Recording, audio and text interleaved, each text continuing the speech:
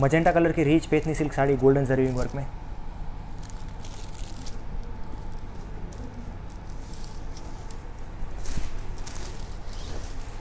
ये है golden zari weaving rich peacock designer pallu.